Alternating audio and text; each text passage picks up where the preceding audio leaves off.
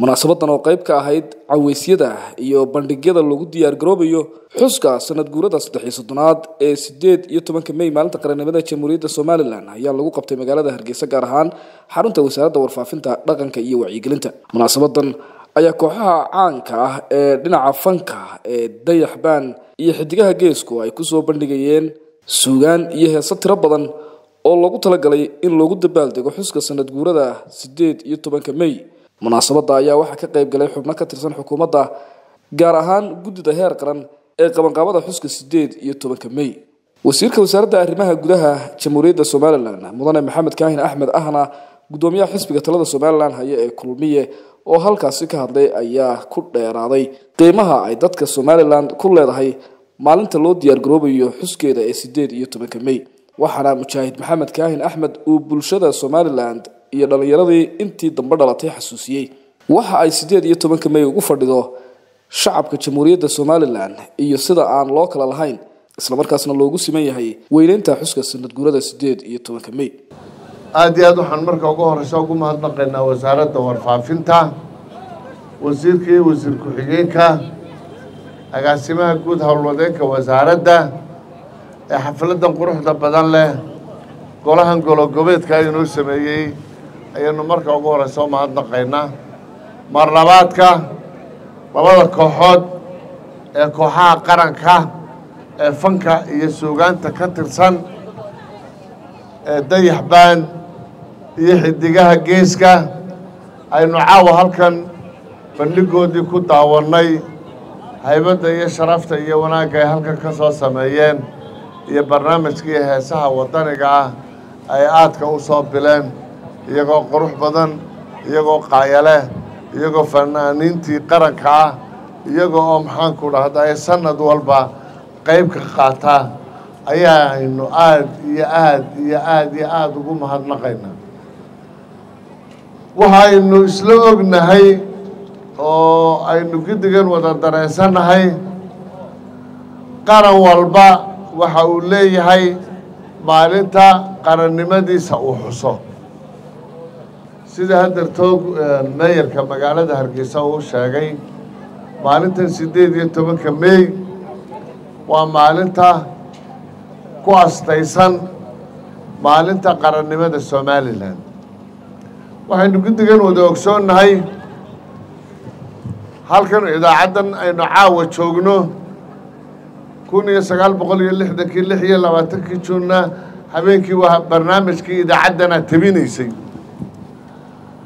caawa aynu halkan joogno laba habeen inooga harsan tahay maalintii xorriyadeennana isla iyadaa tabinaysa su'aalaha isweydiinta lihi waxaa weeye haddaynu lix iyo labaatankii juun xorownay maxaynu maanta mista ictiraafkan aynu doonayno iyo waxaan aynu doonayno maxaa ka dhacay waxaynu ognahay xorriyaddeenni lixdankii inay dhib badan aynuu soo marnay ciddii hala abuurtay barnaamijka la yidhaahdo soomaali weyn. Haddii aad akhridaan buugaagta laga qoray masalan xasan agaasimihii guud ee madaxtooyada somalilan dib u milixsiga uu ka qoray taariikhdii maxamed ibraahim cigaal.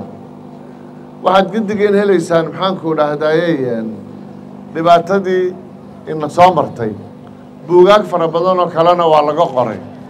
Xorriyaddaa luntay halgan fara badan baa loo soo maray oo halgankii loo soo marayna waxaa u shahiiday dad fara badan.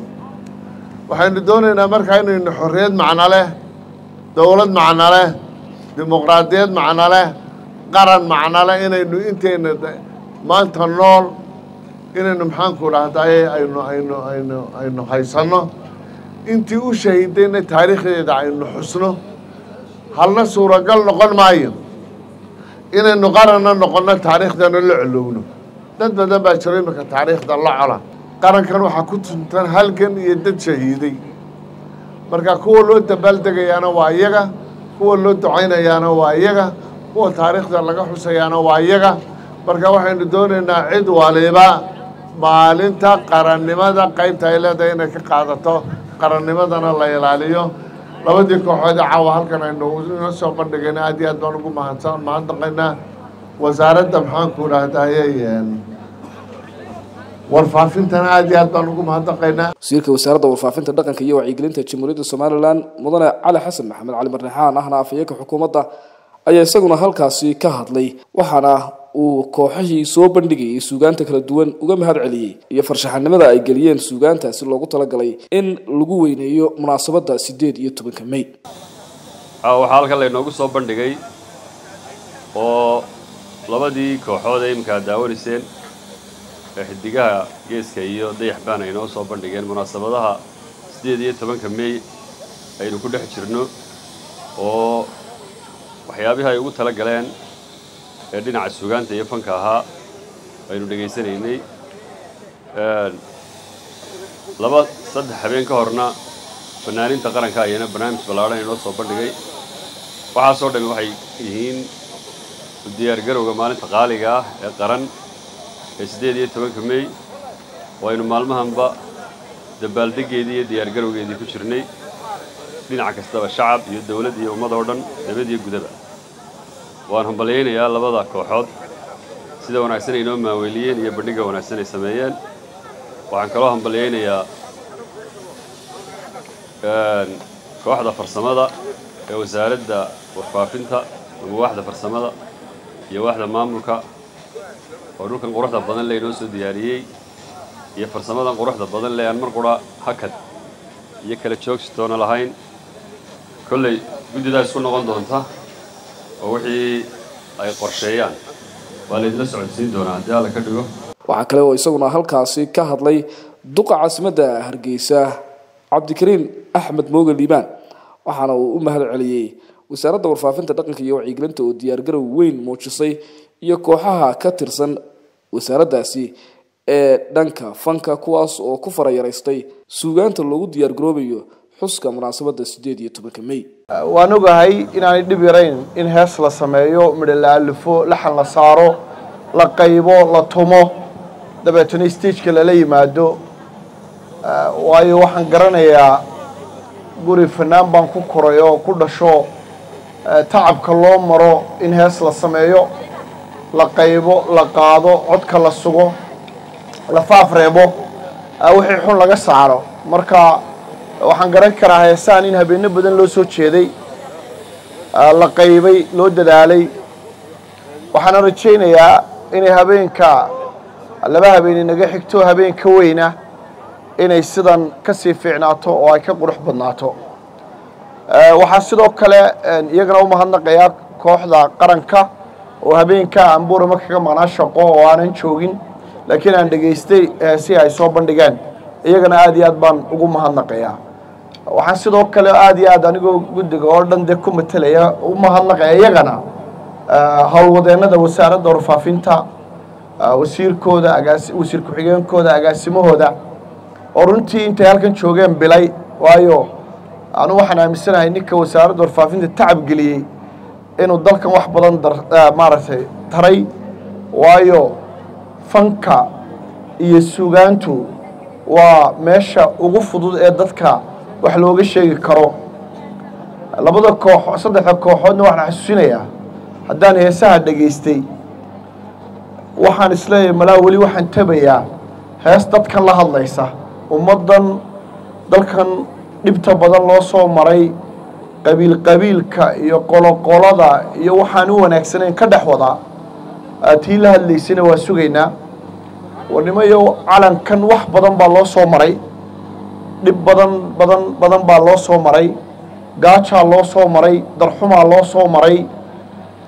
Wixii loo soo maray nin garanayaa wuu ku fara adeegayaa laakiin dhallinyarada dhalatay intii ka dambeysay intaa ayaan doonaynaa in fariinta la gaadhsiiyo oo ay bartaan calankan aabbayaashood iyo awowayaashood iyo adeeradood iyo wadaadadoodii ka waaweynaa waxay u soo mareen.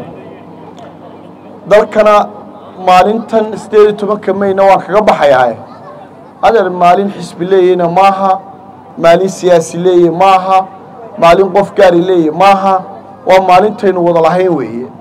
Markaa nin kastaba xil baa ka saaran inuu maalintan weyneeyo oo uu ummaddan maalintaa ay leedahay midnimo u muujiyey insha allahu tacaala.